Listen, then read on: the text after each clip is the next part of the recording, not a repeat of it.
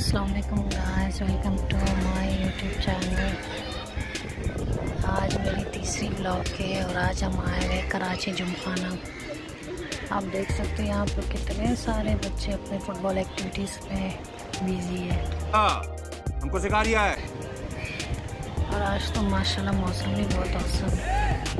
आप देख सकते हो। कराची के मौसम। समझ गया।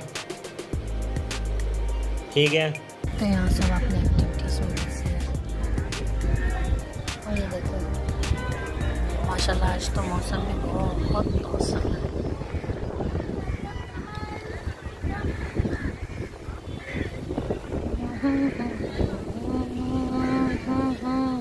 इन छोटे मोटे प्रोग्रामों से कितना कमा लेते हो? मैं ये चुप चुप के वीडियो बना रही हूँ।